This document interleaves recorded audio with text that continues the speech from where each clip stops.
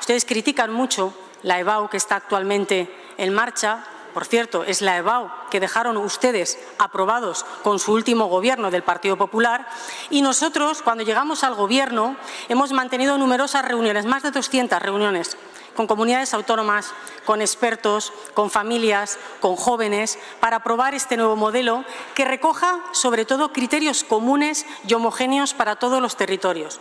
Que todos los ejercicios tengan criterios idénticos de evaluación desde el punto de vista de sintaxis y de ortografía. Sí, y por supuesto también que sea respetuosa con las propias competencias que tienen las comunidades autónomas y también las universidades.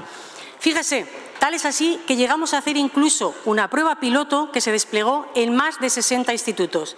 Y curiosamente, de una manera unilateral, las comunidades autónomas del PP no quisieron participar en este proyecto, imposibilitando que miles de jóvenes, que cientos de jóvenes conocieran motu propio cómo iba a ser esa prueba nueva futura. Y luego, señora Romero, ¿Sabe la única decisión que han aportado ustedes o la única propuesta que han aportado ustedes frente a esta nueva EBAU? Salirse de los grupos de trabajo.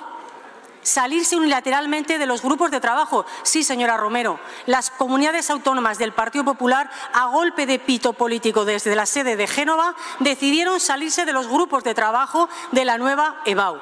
Es así, señora. Y ustedes, además, cuando hablan de la EBAU, tienen un lío bastante considerable.